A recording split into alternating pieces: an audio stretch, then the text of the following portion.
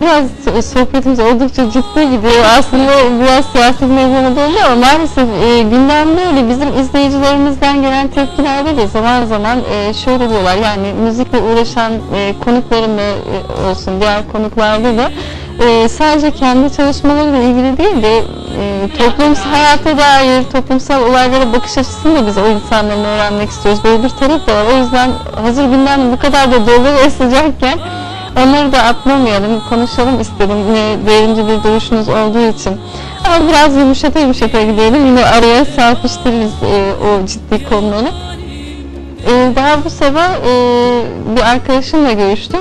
E, bir 6 yıl kadar hapishanede kaldı. E, hatta uzunca bir süre açık grevleri, ölüm oruçları, şu bu. 6 yıl boyunca e, sizi dinlemiş. Ama isminizi bilmeden dinlemiş. Öyle mi?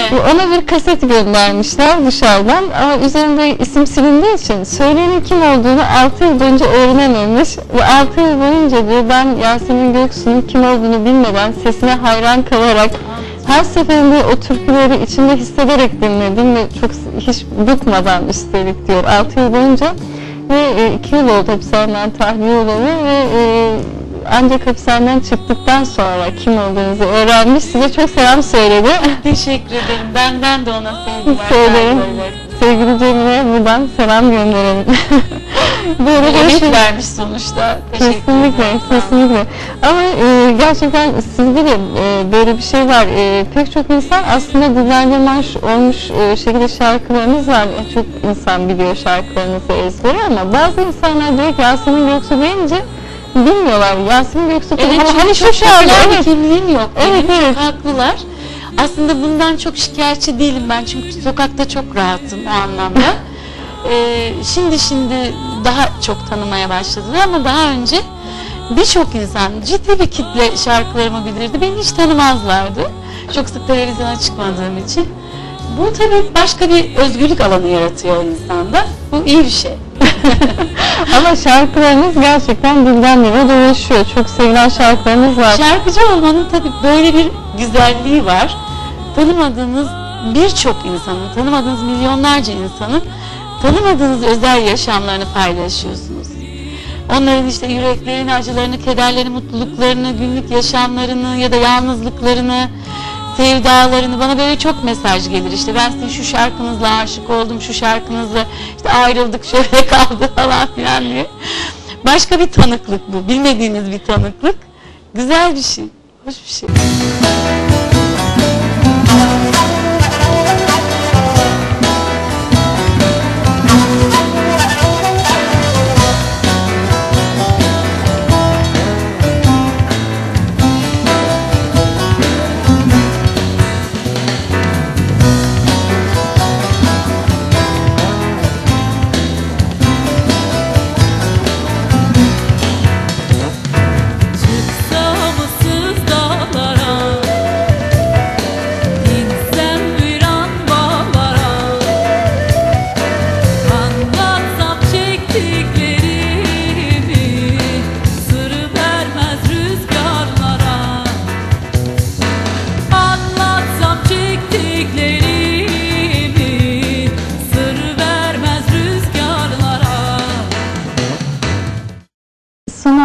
Albüm Ateş Oldum ismiyle piyasaya çıktı.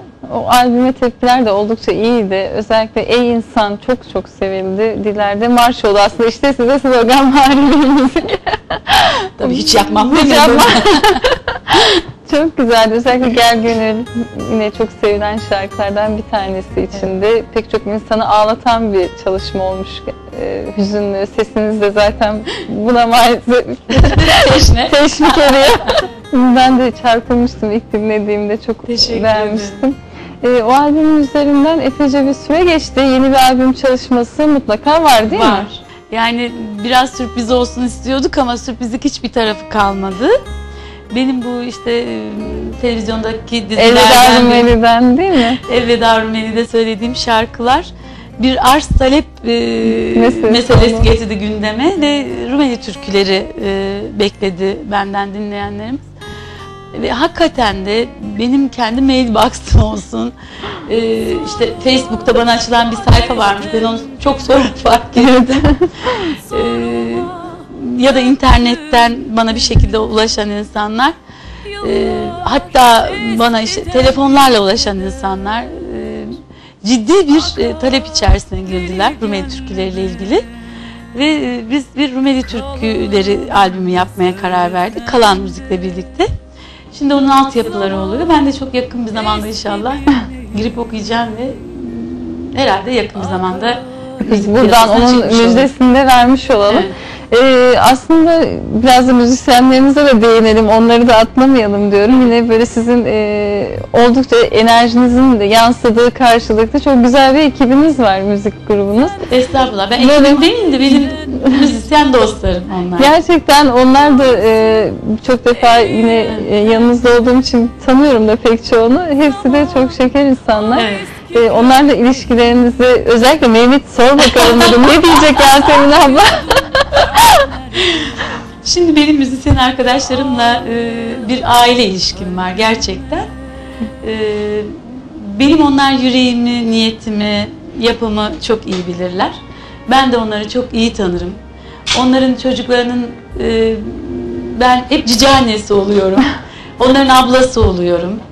E, onlar benim kardeşlerim oluyor, dostlarım oluyor. Benim yaşamın her alanında benim her türlü sorunuma e, ortak olmuşlardır.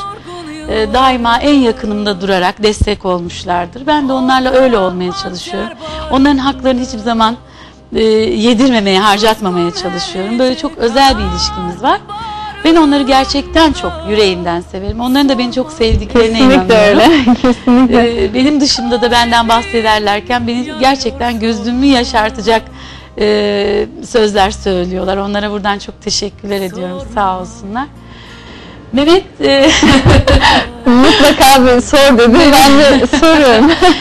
Mehmet'i çok seviyorum gerçekten. Çok çocuk. Çok özgür ruhlu bir çocuk. Kesinlikle. Ee, belki de büyümeyecek bir çocuk.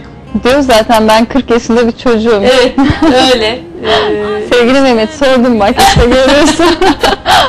iyi bir müzisyen bir kere. Beni asla hiçbir şekilde e, kırmamış.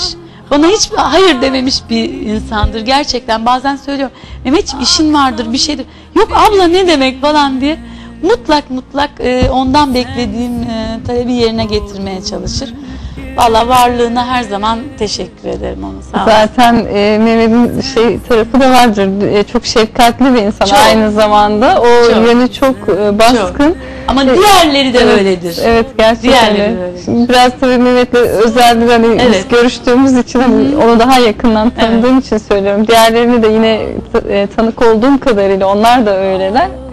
E, o yüzden çok şanslısınız gerçekten. Çok, çok. Gerçekten çok şanslıyım bu anlamda. Çok güzel. Çünkü pek çok insan aynı zamanda e, çünkü sonuçta başarı bir ekip işi. Yani e, konserlerde olsun ya da işte albüm çalışmasında olsun bir iletişim kopukluğu yaşadığınız zaman ya da o negatif bir enerji aldığınız zaman sizi de olumsuz etkileyen bir şey Tabii. sonuçta bu.